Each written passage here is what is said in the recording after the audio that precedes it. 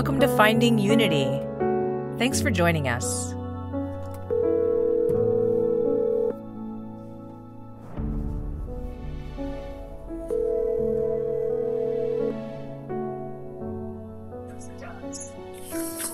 Good morning. Good morning, Lurlene. How are you this morning? Good. Did you sleep well? I did. Yeah, I had a good night's sleep. Thank God for Very good night's sleep. Did you have a good night? I did. I did have a good night's sleep. And I had a good night. I had a fun night. Oh, you had a fun night. Yeah. Just laughing. Yeah. Oh, okay. It's a beautiful day this morning. Have another blessing. We woke up among the living. We're still standing. Oh, I woke up with my dog standing on my bed waiting for me to wake up. she woke me up today. Oh, okay. You was too late this morning, huh? Yeah, for sure. It, I always, I had this other dog too. Her name was Chavez, and I feel like she would wake me up with such vigor. And this is when I lived in Mexico.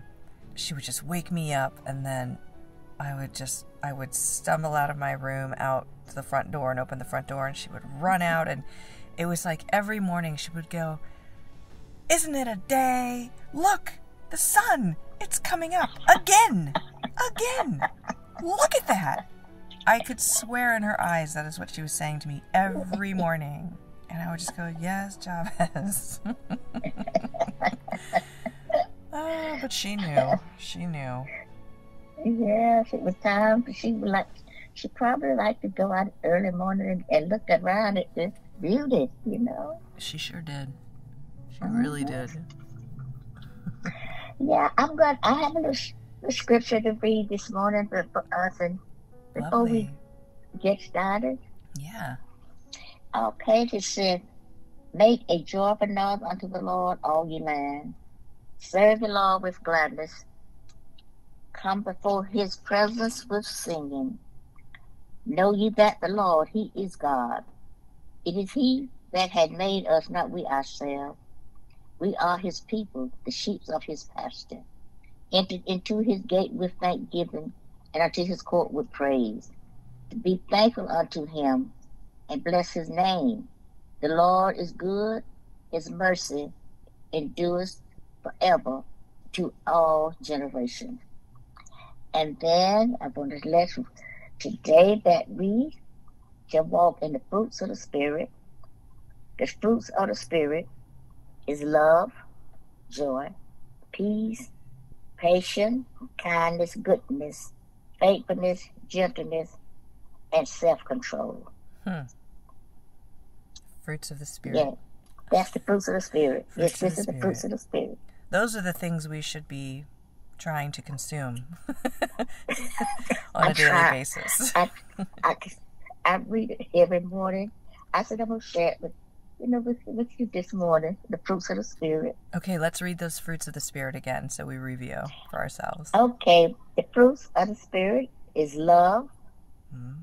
joy, peace, patience, kindness, goodness, faithfulness, gentleness, and self-control. That's the Yeah. and self-control. You know what? you know what? That's a tough you one. know, you know what? Self-control. They got a slice of watermelon.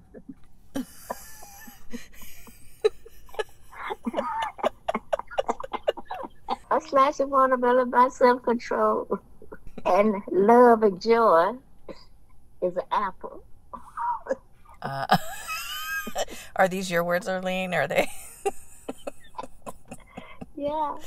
I like that. Fruits of the spirit is grapes, a bunch of big, beautiful grapes. That's the fruits Exactly. Of the spirit. Exactly. Yeah. Delicious, Love juicy. joy. Apple. Available. Yeah. Yeah.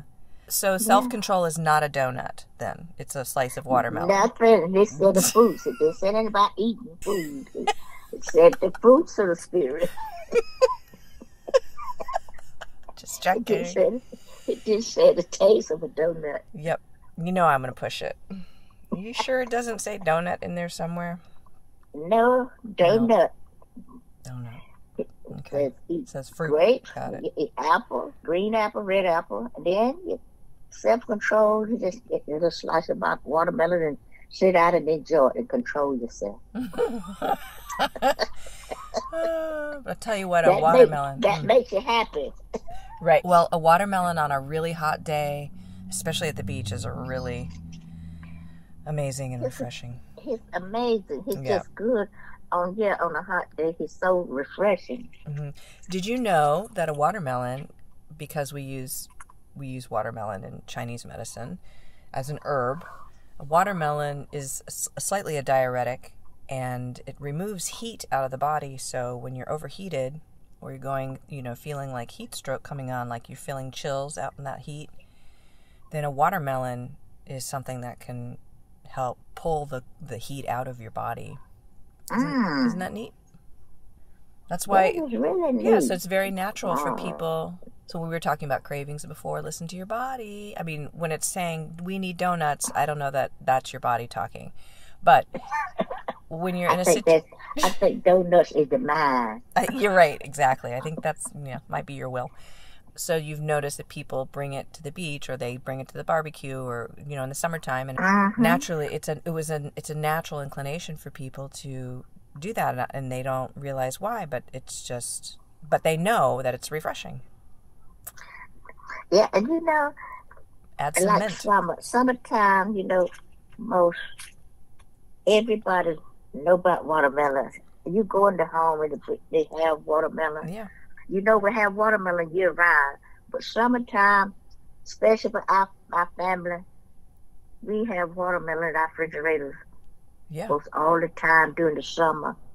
And now that's just because, like, I go back, we was raised on a farm in the country. And that's where we had watermelon. Summertime, they, the watermelons come in, start coming in around about May, June, hmm uh, July, August, September, they would end. That's when they're ripe. They ripen, they start ripening, uh, they start uh, getting kind of ripening in May, but it's not ripening up in June, July, August, September. They Mhm. is beautiful. They fully ripen. In September, they kind of waste away. They they go the vines go to going dry, and the watermelons be quit growing, and and the watermelon patch get empty because there's nothing else left. Because we would always pick them all before the when before they um before the, the cold weather comes. It's, you know, it'll start to getting cool, and they and the watermelons will quit growing. Then the vines will dry up. Right.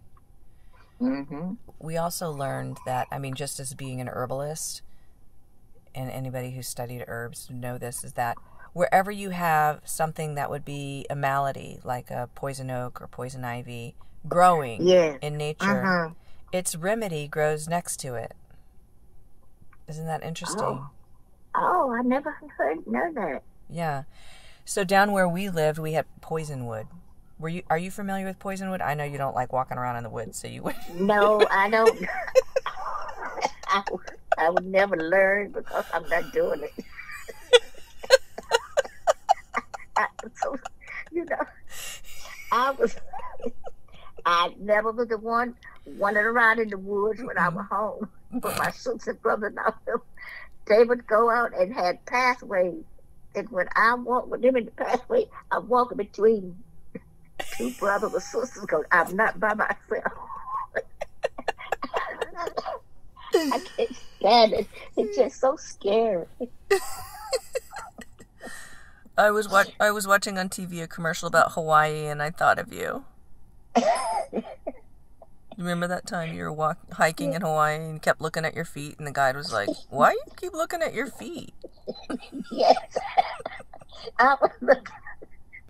He, he took us on a hike. he saw I was acting the crazy, I think. I, said, I told him I was afraid. He said, he said, let me tell you something. He said, there's no, no animals, no snakes, no nothing in Hawaii. nothing. He said, nothing here to bite you. He said, just enjoy yourself. I said, taking a ride, find a place to walk, walk over here, walk. I guess this guy said he was our, a team leader. He said, let me get over here where this woman at is letting her know to just go to walk and to stop all this foolishness. I didn't know that. I didn't know that about Hawaii. I mean, I learned that from you. Yeah, he said that. He told he says no creatures in here that can harm you. That's he said we don't have them kind of animals here. He said we don't have them. and he said you in a free country from creatures. he said nothing here is gonna bite or harm you. he told me no, so I had to get it together. and down where we were, where we're like iguanas the size of Cadillacs and Yeah. and, and pythons that can eat deer and alligators and ah. crocodiles. Like we are, we come from the land of critter, for sure. Yeah, but Yeah. then you know they said that they they used to didn't have have them here. Now they done find two little alligators out there. There they saw this big old python going across the street just before you get to the park. They said he was crossing. Said he was he was almost long as this crossway. That's all you need. My Pilates teacher and her husband were taking a walk there. And she said she looked him across. she stopped and she couldn't even move. Don't move. and she said what was so strange. They had walked that Saturday and said she said to him, says, what you would do if we see a snake. I said, he's like, you know no snakes around here. oh, that's the first thing that's I- gonna happen. said, he said, I kill him. Uh huh. And she said the next morning they was walking said down said here come this here go across this big old looks look like a python. She said he was the biggest snake. Mm. And he was crawling slow and said Steve to my don't move, don't move. So she said, I thought you were gonna kill it.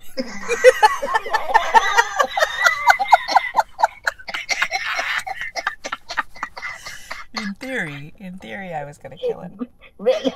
He didn't want her to move. My, said, don't move, let him go. Don't let him. So she, so they just standing there, nothing in their hand. nothing. You can't. You can't kill. You couldn't run that thing over five times and kill it. Like you And couldn't kill it. Yeah, She no, you can't kill the them. Biggest one. She said that's the biggest one. No, they will eat your Dude, animal. Like they will. took his time crossing, just going slow. Yeah, that's a confident animal. You think that animal can be killed moving like that? the one thing you know is that that animal is going to stand the test of time. and it's not be. It's not afraid of you either. Nope, not at all. But she said, I kind of want to back it up. I want to just, I know Steve would have been in a mess because Bernadette could outrun him.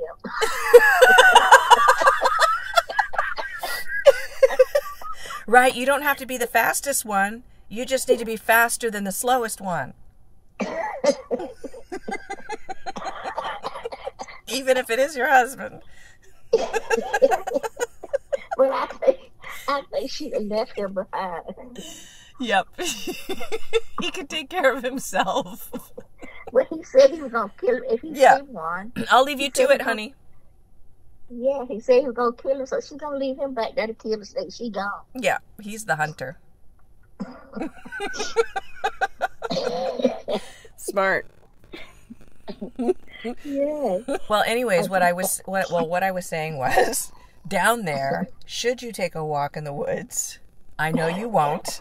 Now you won't even leave your your house, but just going into civil society. But down there in the in the mangroves in the woods, there's poison wood, which is native to the the area, and then next to it grows the gumbo limbo tree, and that is the remedy to poison wood. And it's this flaky, very thin, paper thin bark that peels hmm off the gumbo limbo tree. It peels. You can just scrape it off and boil it and use the use the water and as a poultice. You put it on the on your skin when you get when you scrape up on the poison wood.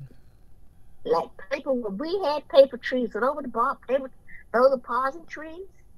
Those are the remedy to the poison.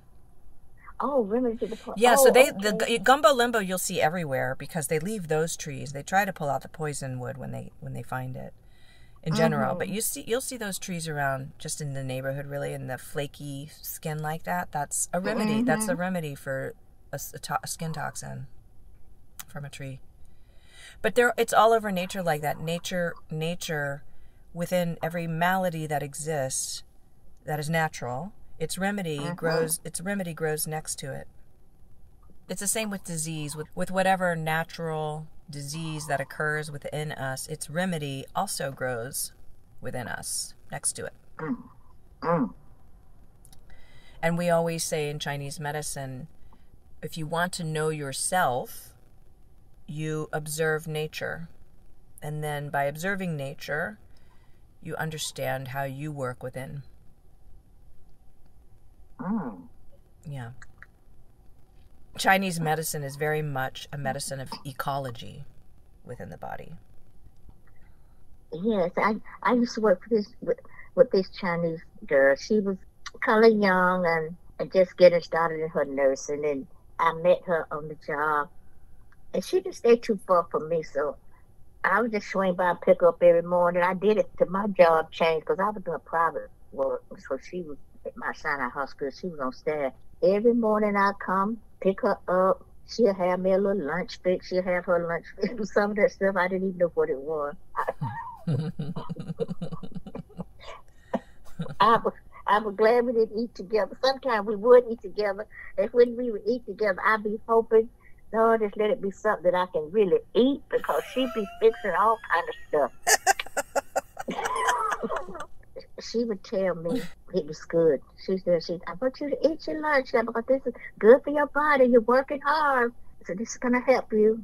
She was probably making you all, you know, a bunch of natural foods. And That's what were- she would do. She she'd be cooking. Sometimes when she come get in that car, you could smell that food. I don't I don't think there's enough butter and salt in that for you. Miss Fried that- Chicken. Well, there's nothing in there for me.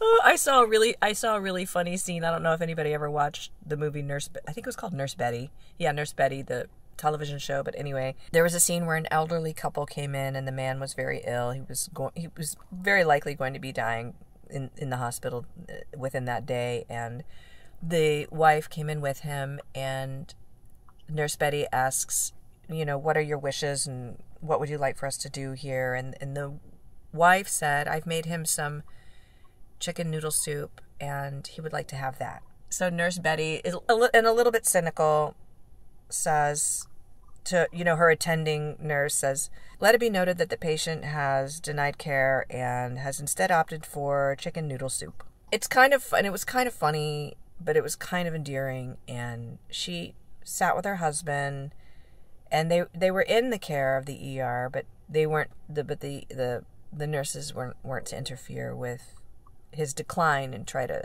resuscitate or save him. And so she sat there and she fed him the chicken noodle soup that she had made with love and care. And he really, really, really loved it. And he was very happy, and it really seemed to relax him and put him at ease. And then he passed away. Mm. And I thought, okay, well being is almost more important than in your instance like the this woman was making very probably very good healthy food for you but it didn't reach your well-being right. at all it just wasn't home to you Yeah, It she wasn't home told to me you. that it was. She told me that it was good. it probably was yeah Yeah. i think well-being is important well-being is important just as important as healthy living i think sometimes it's okay for you to reach for something that brings forward well-being it lifts the spirit for sure Yes. hmm You can eat really, really healthy food and have a crap conversation over dinner And while you are consuming this really, really healthy food, you've just sprinkled a bunch of emotional and spiritual toxicity onto it for your seasoning, and you've eaten that with it. Mm-hmm. I don't think people realize the contradiction that they are living in their lives. And I hope people can reevaluate what they're doing. My niece is staying in Mobile, Alabama. She's a chef in a small nursing home. She said it's more like a senior citizen place. And she said she, when the first day she went and went in there, she cleaned the kitchen up and got it set up the way she wanted and everything. So the supervisor was and the owner was telling her, you whatever you need, let them know it. So she went and she got everything set up in the way she wanted it and rearranged everything. And said she cooked that meal. And she said she served the people came to the table, everybody was set up and nurses and, and now they bring the patient down in this big room and everybody like eat together. So it's very nice. And said everybody would eat all the food and all the stuff. The nurses and then, the supervisor and said, Well what happened today? Everybody ate your food. okay, Oh, had I a cookie now. Yep. yeah. My niece, you know, she, she had learned to cook the way we cook. and so she took back to her job. Yeah, I wish more more people who are in, who love cooking are inspired to cook or want to cook would consider going and working in the hospital Yeah. and cooking and and she help said cooking for people, knowing that what you're doing is feeding people who who are in yeah, a in a scary place. She said the supervisor told her, I hope you never leave so you got a job for life as long as you want to. So, cause that my patients have never been this happy before. So they, and she said that they have the exercise room and, and activity.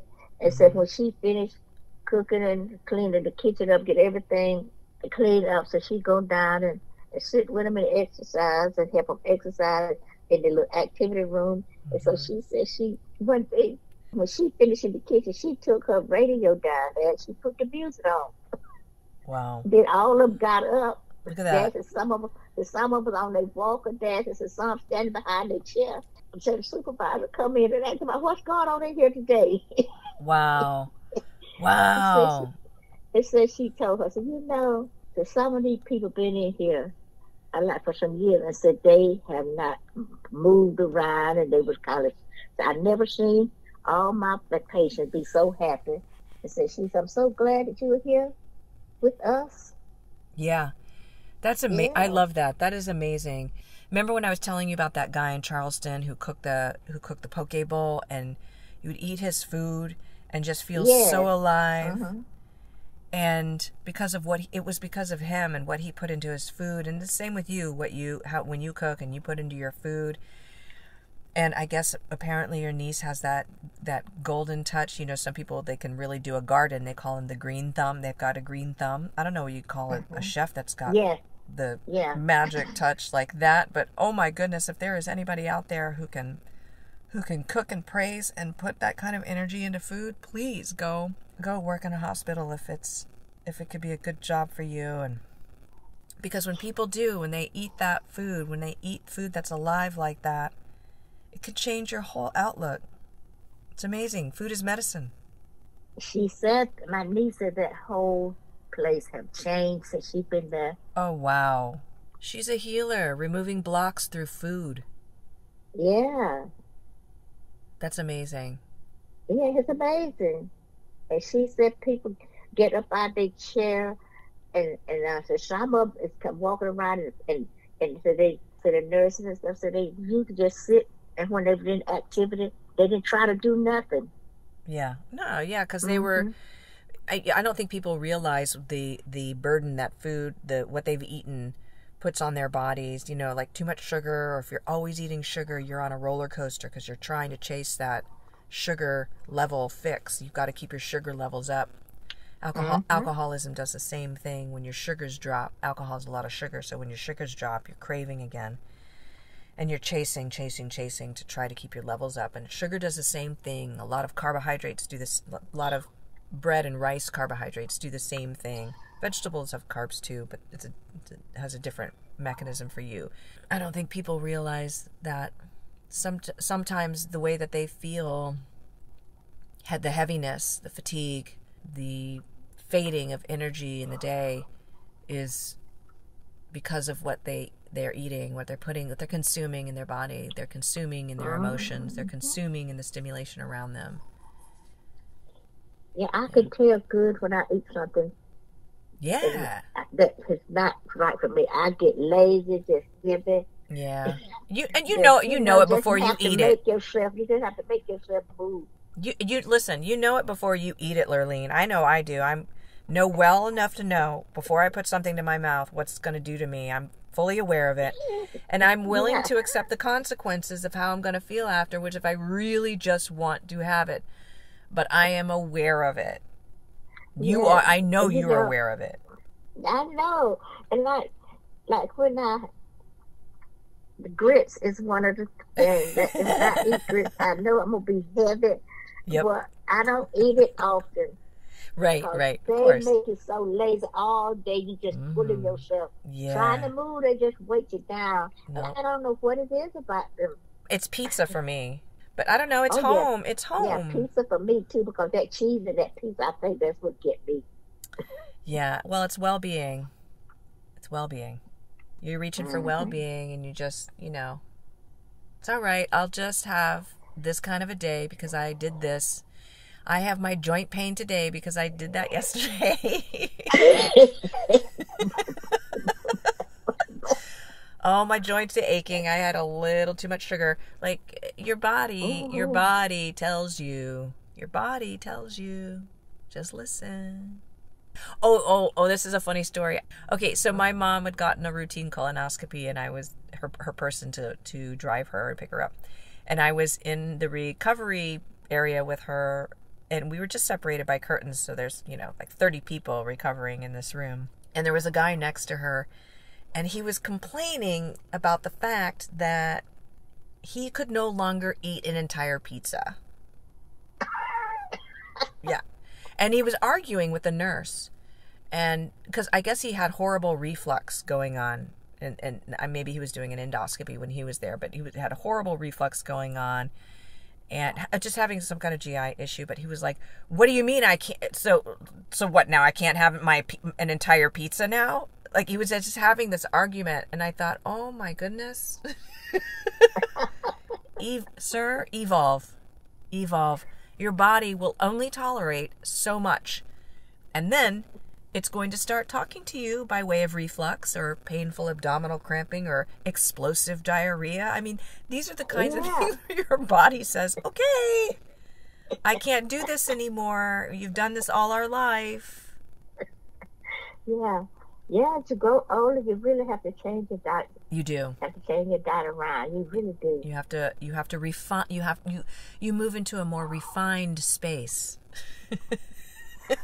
Where you can't just be willy nilly about what you're putting into your body. You gotta think of yourself as a as a finicky Garbage race race car. That need, garbage disposer.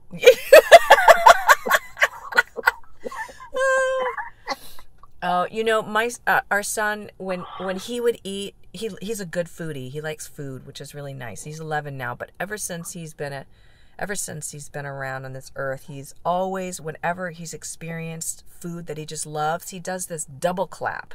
After he eats, he'll take a bite and then just clap twice really fast and just lift his hands up in the air. He's enjoying it then. Yeah. Yeah, fine. Just it, it people say this about your closet too. If you got a bunch of clothes in your closet you never wear, it's it's time to Marie Kondo that stuff. Like don't if put it to your chest and say does this bring me joy and if it doesn't get rid of it. And it's the same with food and it's the same with people in your life and it's the same with the stimulation you have around you. If you don't double clap after you put food into your mouth and it's not contributing to your well-being and lifting you like people people wanting to dance and making you want to dance and sing and smile and laugh and turn around to somebody and give them a hug don't eat it don't eat it eat. Sometimes we get what happened. We just go to craving and then we just see this stuff and just eat it. Yeah. Or just have a couple of bites. Do you have to eat the whole thing? Sometimes it hit the bottom of your stomach. It, it just start. Then you be wondering, why did I do that? Yeah. Well, just just don't make it your habit. Make it make it your every now and again, but don't make it your everyday. Yeah, I mean, a little treat every once in a while. yeah. Otherwise, oh my goodness. I can only I can imagine what your days are like having to drag yourself out of bed, up the hill, to the job. I mean, that's a lot to to ask of yourself every day, Mhm. every It day. It's a lot. It doesn't take long to turn it around either. Your body reacts toot scoot to good food. It'll tell you right away, oh yeah, we like this. This is good. Keep it up. Keep it up. Keep it up. I'll help you if you help me. That's the deal. Yeah. Yeah. I'll carry, I'll carry you through this life with vigor, with energy, with endurance, with a good outlook. And then you can then you can enjoy the fruits of the spirit Oh yeah. when the body is when the body is enjoying its fruits. yeah, you bring them together and you have a good you have a good life. Pretty much. You have clarity and then you're you'll be untangled from blocks. You'll receive you you receive the messaging, you'll receive the word, you'll receive the stream. You won't even have to work for it. It'll just be there. You'll just be feeling it, be in it. And then you can receive happiness too. That brings on happiness and, and joy.